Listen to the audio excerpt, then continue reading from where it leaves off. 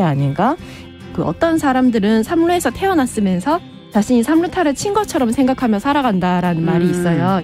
해충이다, 이충이다. 이거는 네. 순전히 사람의 아. 그 잣대로 이야기를 하는 거예요. 음. 곤충이 우리 사람보다 몇 억 년 먼저 지구에 나왔거든요.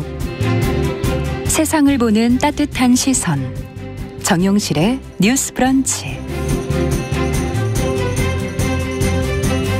네, 정영실의 뉴스 브런치 듣고 계신 지금 시각 11시 38분을 향해 가고 있습니다. 자, 우리 일상과 산업, 자연 속에 늘 존재하고 함께 살아가는 존재들이죠. 동물의 권리에 관한 뉴스 전해드리는 시간입니다. 동물 이슈, 한국일보 고은경 동물복지 전문기자 전화 연결돼 있습니다. 안녕하십니까? 네, 안녕하세요. 네. 네, 오늘 어떤 소식부터 들어볼까요? 혹시 도도새라고 들어보셨나요? 들어봤죠? 네. 아, 네. 이름만 예, 들어봤습니다. 예, 맞아요. 예, 네. 저- 들어보신 분들도 많이 계실 텐데요. 음, 이 도도새는 인간 때문에 멸종된 동물의 대명사입니다. 음. 이 도도새를 과학자들이 복원한다는 외신 보도가 나와서 지금 눈길을 끌고 있습니다. 네. 근데 왜 인간 때문에 멸종된 동물의 대표가 도도새가 된 겁니까? 네, 인도양 모리셔스 섬이라는 곳이 있는데 예. 그 이곳에 살았 었던 그 도도새의 운명은 16세기 포르투갈 선원이 상륙하면서 뒤바뀌게 됐습니다. 어. 그 먹을 것이 풍부하고 또 천적이 없어서 이 날개가 퇴화하면서 날지 못하게 됐고요. 이 사람들은 이 도도새를 무차별적으로 사냥을 한 겁니다. 아. 그래서 1681년 이때 이 마지막 개체가 발견된 이후로 자취를 감췄고요. 이 인간한테 발견된 지 70년 만에 멸종된 그 인류가 멸종시킨 생물의 대표적 예로 꼽힙니다. 아, 이거 아주 오래전에 그러니까 멸종이 된 거군요. 예, 예. 네. 근데 이, 이 멸종된 동물인 도도새가 인간의 기술로 다시 부활을 한다는 얘기는 어떤 얘기인가요? 네, 그 미국의 캘리포니아 대학과 생명과학 스타트업 과학자들이 그 유전자 뭐 분석 그리고 편집 기술들을 활용을 해서 네. 이 도도새 보관 프로젝트를 진행 중이라고 합니다. 어.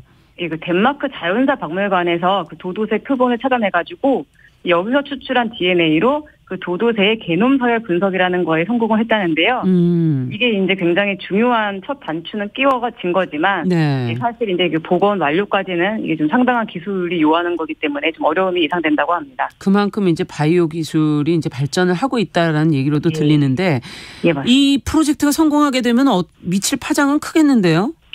앞으로 다른 그렇습니다. 것 동물들도 복원이 가능하다는 얘기 아니에요? 예, 맞아요. 예. 네. 이 도도새 복원에 성공을 하게 되면은 인류가 멸종한 동물을 되살리는 첫 사례가 됩니다. 예. 예, 이미 이 지구상에서 사라졌거나 멸종 위기에 처한 생물 보존을 위한 그 신기원이 열릴 것이라는 얘기까지 있는데요. 네. 예, 이 스타트업 기업은 방금 말씀하신 대로 그 멸종된 털복숭이 매머드와 테즈메니아 호랑이도 복원하고 있다고 합니다. 와, 매머드는 저희 뭐 영화 뭐 이런 데서 봤었던 게 기억이 나는데 그것도 예. 지금 복원을 하고 있다. 예, 야, 예. 참 대단하네요. 근데 이에 대해서 또 회의적인 시각도 있다면서요. 네, 맞습니다. 이미 그 사라진 동물을 되살리느니 현재 멸종위기에 처한 동물, 또 식물을 보호하는 데 관심을 나- 그 돌리는 게 낫다는 주장도 있습니다. 음. 이게 우리 도움을 사실 지금 절실히 필요로 하는 동물들이 너무 많잖아요. 그렇죠. 예, 근데 왜 굳이 또 사라진 지 오래된 거를 구하냐, 구하려고 또 애를 쓰느냐는 건데요.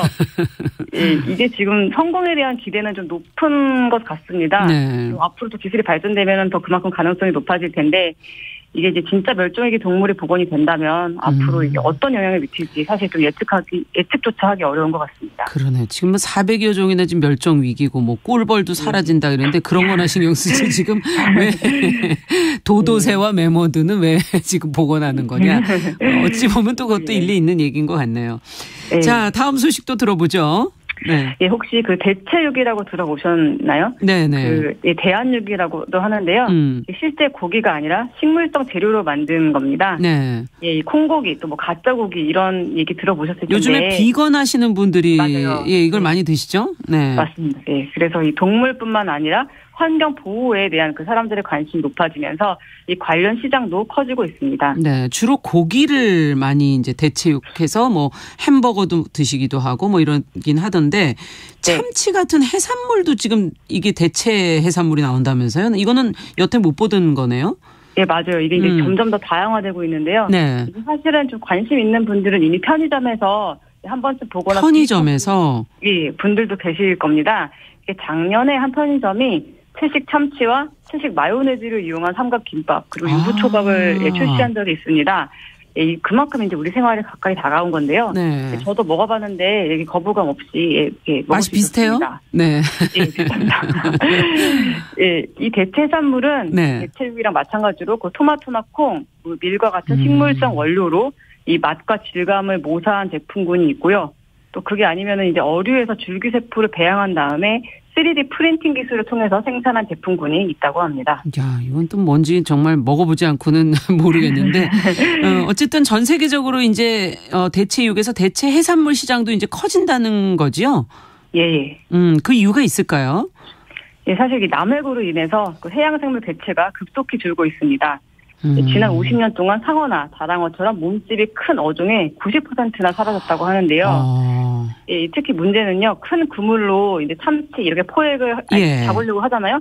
예, 그러면은 이게 거북이나 고래처럼 의도하지 않았던 다른 생물도 딸려와서 걔네들도 잡혀서 죽는 게 문제입니다. 어. 예, 예. 아니, 이거 풀어주는 거 아니에요? 다른 게 잡히면? 바다 아, 위에서? 네, 그럴 수도 있는데 음. 대체적으로는 다 이제 죽은 채로 발견이 되는 아. 경우가 예, 많, 많기 때문에 예 그래서 이제 그리고 또 뭐 의도하지 않 그렇게 좋은 의도가 있을 수도 있지만 또 음. 또, 또 잡을 수도 있고 뭐 예, 그렇기 때문에 음. 예, 이거는 사실 좀 문제가 심각해서요. 그래서 이렇게 대체 해산물을 향한 이 관심이 높아지고 있습니다. 그렇군요. 대중화된 거는 아닌 것 같은데, 아직까지도. 대체 해산물은.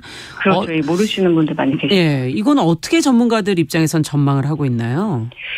이제 아무래도 시장은 좀 밝은 편인 전망은 밝은 편인데요. 예. 이제 가격을 좀 낮춰서 소비자가 쉽게 접할 수 있도록 하는 게 관건이고요. 음. 또 이제 완성도도 높아질 필요가 있습니다. 이게 드셔보셨는데 맛이 없거나 또 이게 만약에 식품 안전상의 문제가 불거지게 돼, 서 음. 소비자로부터 신뢰를 이제 얻지 못하게 되면은 시장이 확산되지 못할 가능성도 있습니다. 네, 앞으로 또 어떻게 될지 한번 도전을 해봐야 되겠는데요. 맛을 어, 한번 보기도 하고. 예, 예, 알겠습니다. 마지막으로 이제 동물 대체 시험법 제정을 촉구하는 지금 6만 명 시민이 참여한 서명 전달식이 국회에서 열렸다고 하는데 이 소식도 좀 전해주시죠. 예, 이 동물 실험이 아니라 그 대체 시험을 장려하는 그 동물 대체 시험법을 그 제정하자는 내용으로요. 한 음. 동물 단체가 서명 운동을 벌였는데 여기에 그 6만 6천여 명이 참여를 하셨습니다. 음. 그래서 이제 이 서명지를 그 국회에 전달을 했는데요. 이게 사실은 이, 이 동물 대체 시험이라는 거는 네. 동물 실험에 대한 윤리적 문제뿐만이 아니라 이 동물 실험을 한 결과가 사실 사람한테 그대로 적용하는 게 효과적인지 그 문제에서 출발을 한 거예요. 아, 사실 이게 동물한테 했다고 해서 사람한테 똑같다는 거는 그럼 사실 부당하기 그렇죠. 어렵잖아요. 네. 예, 예, 그래서 오히려 이 기술을 개발을 해서 동물 실험보다 더 정확한 결과를 내기 위한 그 다양한 기술이 개발이 되고 있습니다. 그렇군요. 그러면은 지금 동물 대체 시험을 촉진하는 법안도 발의가 되어 있다면서요. 예, 맞습니다. 이 관련 법안이 발의가 되어 있는데 국회에 계류되어 있습니다. 음. 예, 근데 말씀드린 대로 그 대체할 수 있는 기술이 있다면 그 잔인하고 불필요한 동물 실험을 굳이 지속할 필요가 없다는 데 대부분 공감하고 계시기 때문에 네. 예, 이런 연구 개발을 지원하고 또 부처 간의 협력을 그 돕게 하는 이런 내용을 담은 법이 빨리 통과됐으면 하는 바람입니다. 네. 오늘 소식 여기까지 듣겠습니다. 말씀 잘 들었습니다. 예, 감사합니다. 감사합니다. 동물 이슈 한국일보 고은경 동물복지 전문기자와 함께했습니다.